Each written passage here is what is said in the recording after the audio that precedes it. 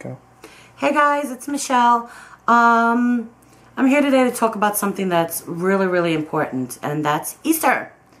And you all know the traditions of Easter baskets for the kids, Easter eggs, Easter egg hunts, etc. Well, did you know that so many children in America don't get Easter baskets? How crappy is that? My husband filmed a segment talking to my son without him knowing what it was about, asking him how he'd feel if he didn't get an Easter basket, and you'll see that video. Not good. Um, we're gathering supplies for the INN to make sure that we can give as many kids as possible Easter baskets this year. So please, you know, get in touch with me on YouTube or I'll post my Facebook address, my husband's Facebook address. You could write to either one of us. And um, if you want to donate, you're in the New York area, that'd be great. Happy Easter, everyone, and have a great day. Bye. Hey, buddy, how are you?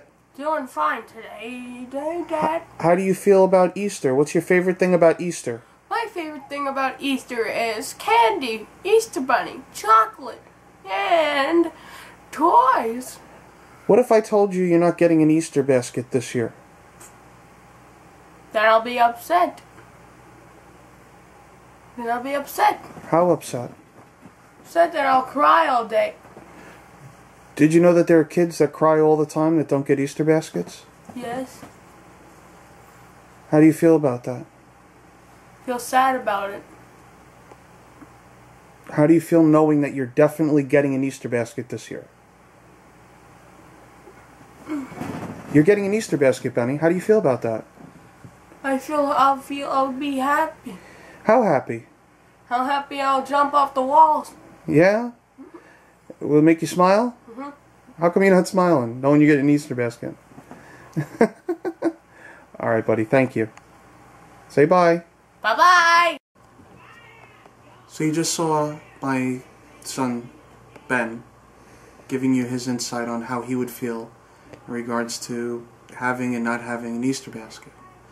So there are many kids out there that don't get a chance to have one.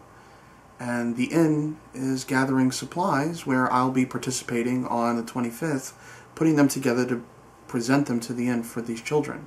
So what I'm asking is if you have any of these supplies, be it individually wrapped candies, plastic eggs, grass, baskets, um, bring them to me. Uh, my name is Mark Branda. My information will be in the info box below.